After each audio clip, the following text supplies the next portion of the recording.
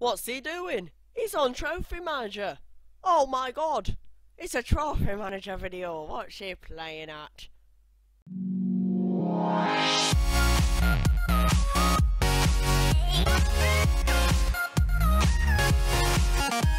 What's going on guys, my name is George or the Real Wolfie and welcome to the 14th TM Weekly Update.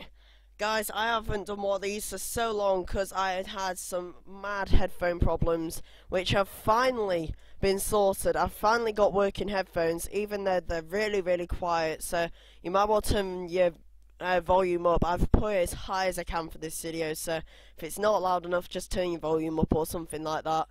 But yeah, we are back on Trophy Manager, and we have 31 games to get through in this episode, so it's going to be mega... No, I don't want to restart my computer. There we go, anyway, that that just helps us out on the video, that's just brilliant. But anyway, there going to be 31 games in this episode, I'm going to rush through it like an absolute madman, and yeah, let's just get started, first of all, with what has gone on in the league. So nine games ago, on the 13th of March, we had a league match away against Fenerbahce FC, and this was a pretty important game for us to get a win out of, because they were below us in the relegation playoffs, and we were just outside. There were loads of clubs on 17 points, as we were, so this was a crucial game for us to get something out of. And trust us, we went and cocked it up and lost 3 2, which I was annoyed about. But Norland managed to score on his return to the team, and Johnson also managed to get a game, which was quite good to see. Then the next match, this was eight games ago, remember guys, we played Newton Heath LYR at home, and this was again another crucial game to get something out of. Now, they were about 17th, I think, out of 18 teams in our league when we played this match. So, obviously, I was expecting something pretty good. Our teams, he had a lot of three star players, and even if you uh, two, two and a half star uh, players on his team. So it wasn't the best of teams I was up against, whereas ours is a lot stronger than his was. We went into that game and came out with a 5 0 win. Samson grabbing two, Eddie Hill, who's one of our new players, which I will just show you now. There he is. He grabbed two goals, as did Ludlow. So as you can see, Eddie Hill, he's a pretty good player, six point, uh, 3.6 rated. So he might become four star before he stops blooming, but I'm not quite sure. Good player, good stats for an offensive mid, and has scored two goals in five games for us so far. We signed him for 17.6 million. Then we played Nodtown CFC, and uh, Eddie Hill played in that game again. And this game, I didn't really expect anyone to do well in because it was a match against top of the league when we played them. Obviously, six games I think have gone on since then. So obviously they're now well, they're now not top of the league because stuff has changed. But when we played them, they were comfortably top of the league. So obviously we didn't expect much. However, what happened here? Samson grabbed himself two goals, one of which was a penalty, in a, game that was absolutely incredible. We came out with a 2-1 win against Nod Town CFC, the league leaders, which then put them down to third in the league because of that. Then we played Sparta Parkdale, a crucial game. We were on the same points. He was one uh, one spot above me, just with slightly better goal difference. And then we went back to our normal ways. We lost 3-1. Samson getting himself his fifth goal in three games. He was on absolute fire uh, back then. But it was a shame, but it brought us back down to earth and we realised we weren't quite at the stage that we wanted to be until we played FC Charlemont. Now, they were again, I think these were one point above me, yeah, and only a few places above, so another important game for us, and pretty much the same team as we played for the games before, not many changes to it whatsoever. We went into the game, and yeah, we came out with a one-all draw. I mean, I can't really complain. Johnson got himself another goal. He's been playing absolutely amazingly recently. And Jesus, my cats are chucking themselves about in the tunnel. Jesus, they have this tunnel and they just chuck themselves in. But anyway, we drew one all in that game. Can't really complain about it. It wasn't our best game, it wasn't our worst game. So we went on to the next match, which was against FC Real Kidderminster. Now, these were 17th when we played them as well. And not really going to say much about it. Embarrassing. 20 shots, only 7 on target. Their keeper got in the team of the round for his performance. Absolutely mental keeper, really. Incredible player, but with an inactive team because Kidderminster haven't uh, come online for ages, but they beat us 1 0. So then we went into the next game. This was crucial. MGFC had, I think, is two points more than us when we played them. The teams around us were literally, I think, from 6th to about 11th or 12th. There were only about 5 points. So each game was absolutely crucial. Now, there was a lot of hype around this game, and MGFC, as you can see, has a very good team. Lots of 4 stars in there, and the rest are all 3, uh, three and a half stars, if they're not. A lot better than our team. I mean, we have a three-star goalkeeper who is good. Mansoon is very good keeper, but he's only three-star. Although we did give a debut to a new defender that we signed, that called Christmas Longfellow. Now he replaces uh, Hind as our number one right back, and uh, uh, Aiken Nugent also joined, who will probably replace uh, Amir Ishmael as our number one left back. Now these two started in this game for the first time, both on their debut, and it worked what we did. We won 3 0. Norland returned to the team and got two goals, which put him in the team around. Sampson got another goal, so he carried on his incredible form for our team so far. Annoyingly, Masoon got injured. He was out for two games, so the next two games, you'll kind of understand the scores when you see them. But this game, MGFC played amazingly but we just outclassed him. I think. I think that was pretty much what it was. A good game all round, though, really. Then these two games, I'm gonna just click play. So we lost 4 0 against Bad Girls City. They were about fourth in the league, and yeah, we didn't have much in that game.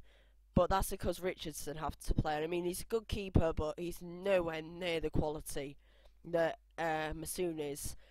And then 4 0 again. So again, a bit embarrassing.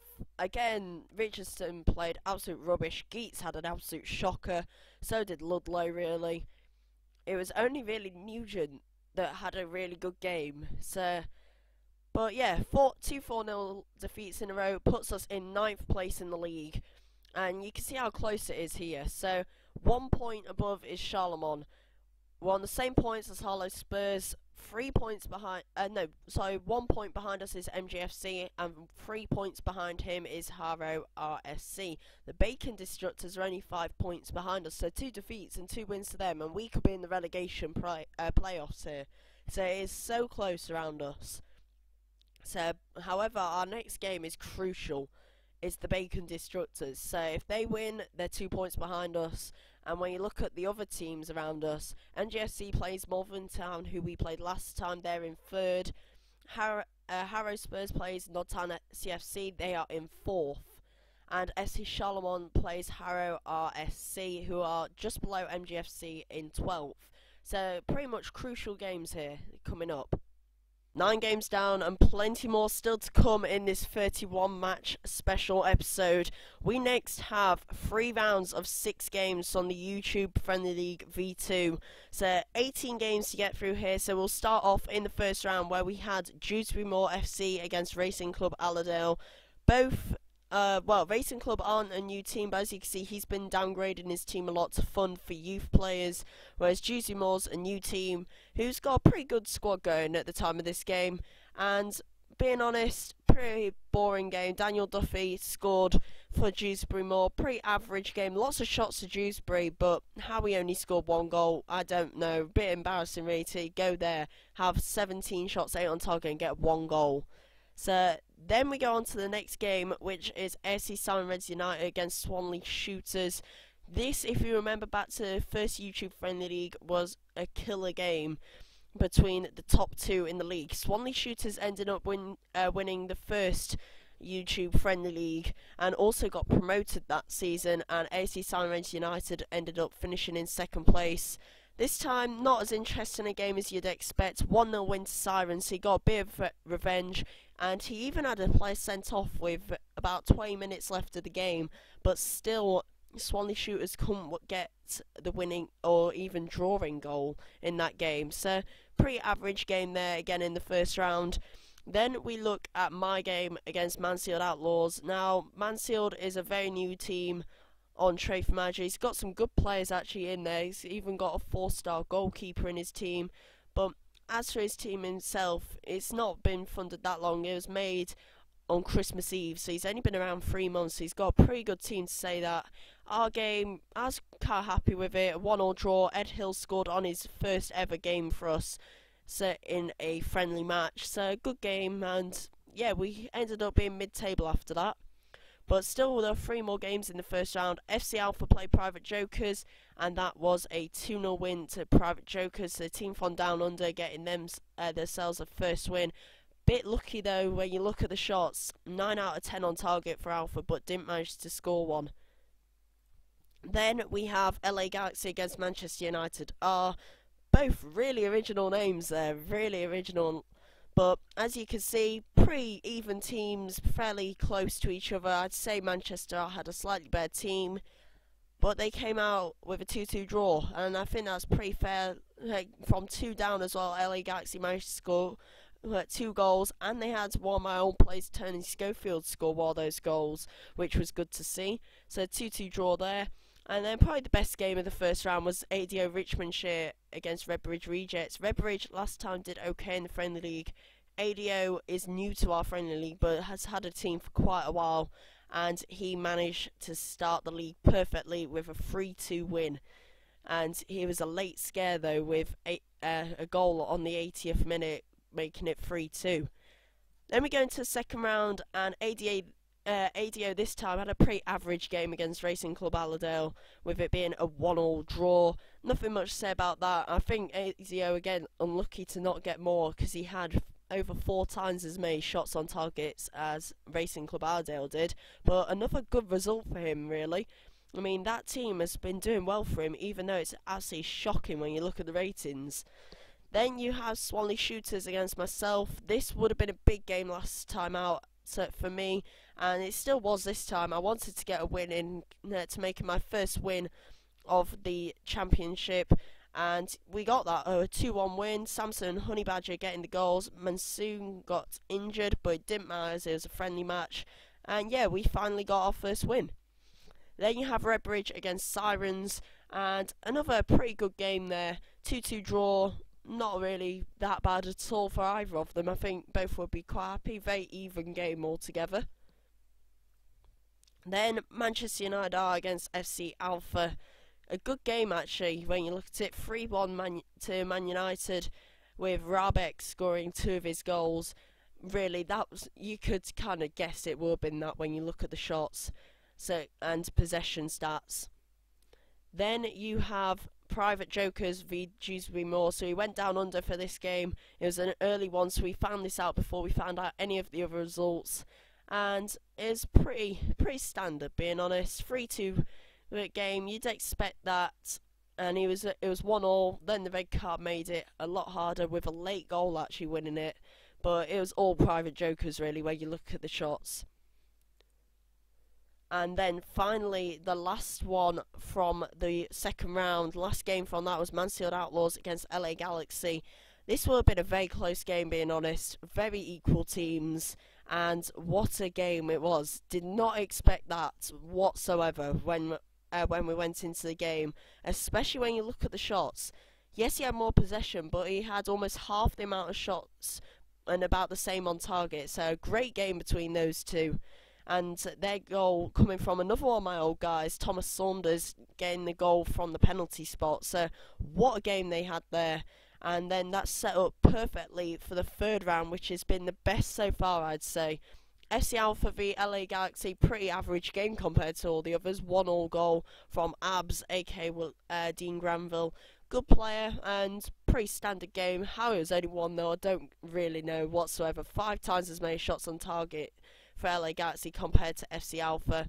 But good game there, but not one that you pay much to see. ADOV Private Jokers would be because these two are very close in the league, and it was in the end a 1 0 win for ADO, who stopped Private Jokers' 100% record with that first minute goal from Kulowski, or Kulikowski, sorry, who got the first minute goal. But other than that, not much happened in that game. Pretty equal match again. Then Moor v Man United are two very close teams yet again. Dewsbury's really been improving his team recently and came out of that with a 2 1 loss, which is unfortunate. Daniel Duffy got another goal. He's been an absolute legend for his team uh, recently, but it was kind of a unlucky. Very equal game when you look at it. Pretty much the exact same stats. So that was a very close game. Then we have AC Red United v Racing Club Allerdale. Now, RCA, as you know, bad team when you look at the players, but he's funding for a big spending spree and also youth players. Sirens with a lot of four star players and three and a half stars. And that game, close, 3 1 win to Sirens. Not as close as uh, his previous games Racing Club has had, but 23 shots, 15 on target. Crazy dominance there, but a lot closer than you'd expect, really. So, another good game there. Then we come on to probably the two best games of the Friendly League so far Swanley Shooters v Mansfield Outlaws. Swanley has a lot better team, majority four star players. Mansfield has quite a few three and a half star players in his team and one four star. But wow, what a game there! 29 minutes in and a player sent off, and then again 61 minutes in a player sent off. That's why there was so much dominance for Swanley. Holger getting four goals in that game as well. Great performance by this guy. Absolutely amazing player as well. Only 21 and he's already that good. So probably one of the best games the Friendly League has seen so far there. But I reckon this was the standout game when you look at the results. Me versus Redbridge. I'd expect it to be a pretty close game when you look at the teams there, but no. Wow. 8 1. You look at his keeper, this is the main reason why he lost, because that keeper is not good. He needs a lot better keeper there, and he had a rubbish game as well.